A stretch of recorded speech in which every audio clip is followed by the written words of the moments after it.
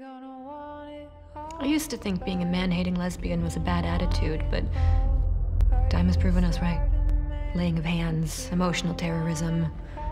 Seems pretty rampant, but no one gets called out that I see, and definitely no one gets arrested.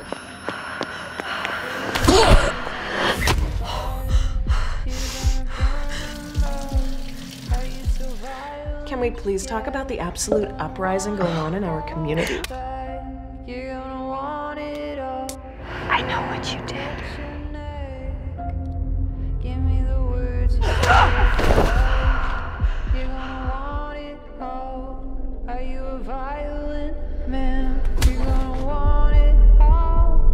We are beating them back, and we are gonna win. We can't do this.